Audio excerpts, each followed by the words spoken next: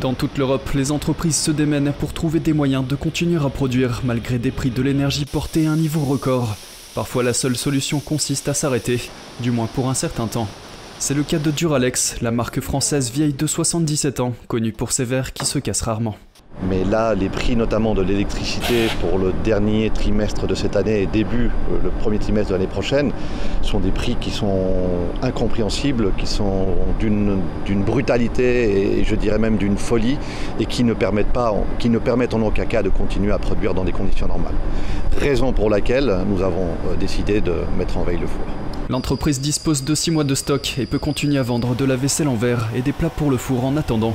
Mais d'après son PDG, le coût de l'achat de l'énergie dont Duralex a besoin pour son four, qui fait fondre la silice à 1500 degrés, aurait doublé d'octobre à novembre, atteignant des montants insoutenables. à partir de novembre, si on continue à produire, l'énergie représenterait 40% de notre chiffre d'affaires. C'est économiquement irrationnel, financièrement irrationnel. Si on continue à produire dans des conditions, on met en péril la pérennité de l'entreprise et surtout on met en péril la pérennité de l'emploi.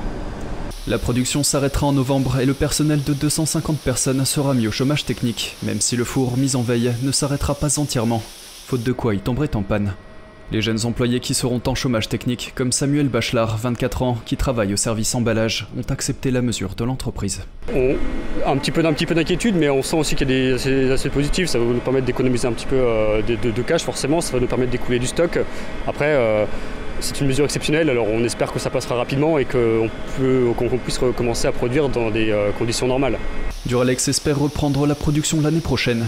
José Luis Yacuna a déclaré qu'ils ont déjà fait des acquisitions de gaz pour les deuxième et troisième trimestres de 2023, à des prix élevés mais acceptables. Pour l'avenir, Duralex cherche des alternatives au gaz pour son four et continuera à réduire sa consommation d'énergie, déjà en baisse de 20% par rapport à l'année dernière.